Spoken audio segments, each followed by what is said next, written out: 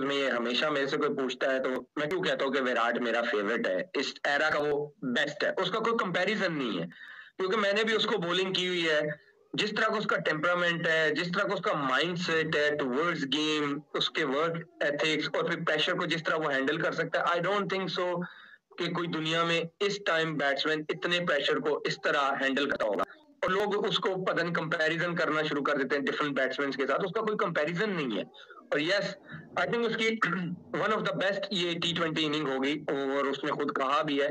और out of know where देख लेना, आपने, उसने पाकिस्तान के मुँह से गेम छीना है ऐसे।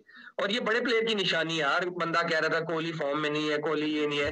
पर बड़ा प्लेयर वही होता है एक्सपीरियंस प्लेयर वही होता है, वो हमेशा प्रेशर में आके ना चिप इन करता है। और जो विराट ने कल किया है आई थिंक वो वही कर सकता था।